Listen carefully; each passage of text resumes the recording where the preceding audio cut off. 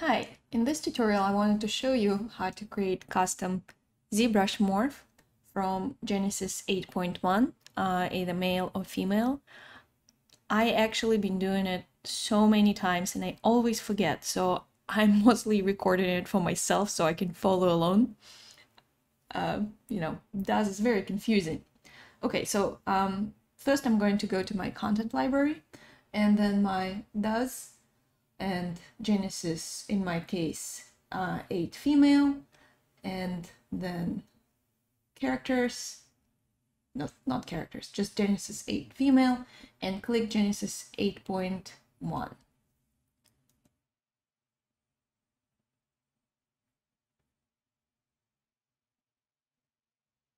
Okay, now it's loaded. I'm going to, first of all, um, remove my subdivisions. For that, I'm going to parameters and this root folder and I find my subdivision levels and I'm killing it.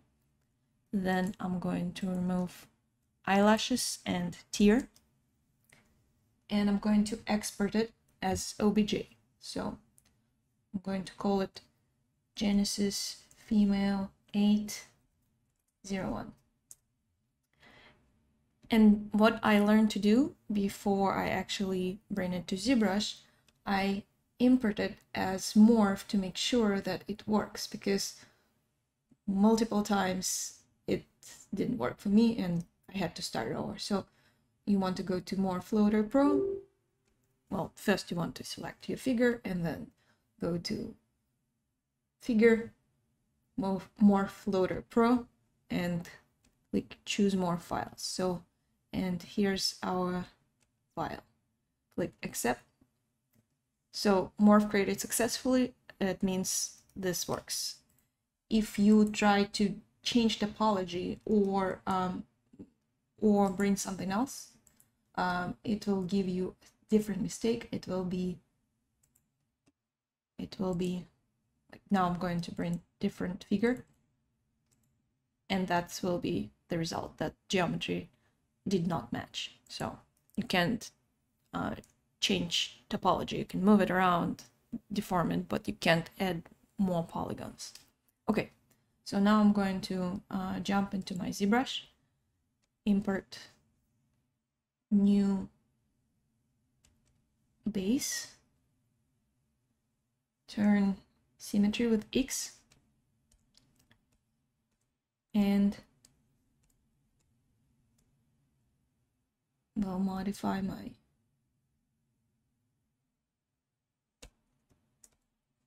figure.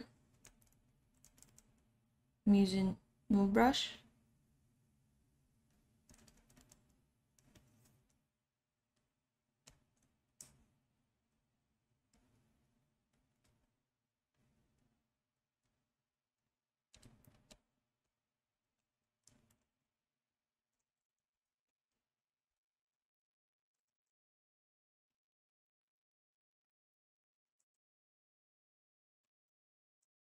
Okay, I'm not going to go crazy. So let's say um, I change the I changed the look. I'm going to export it.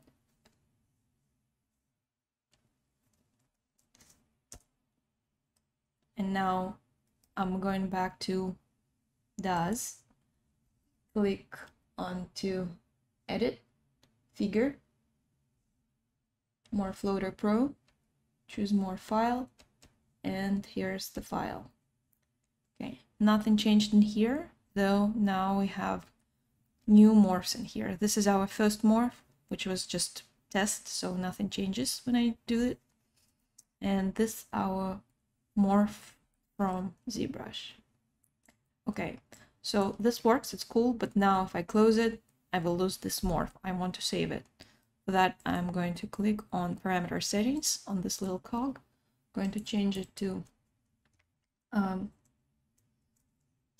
z test. Going to bring it to actor people. Change it to zero and click OK. So now it disappeared from here.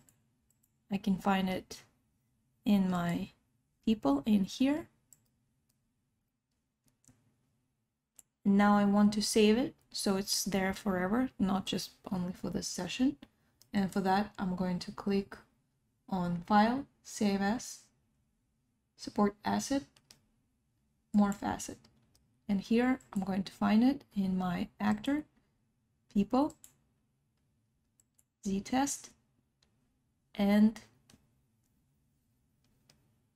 click accept. So now it should be there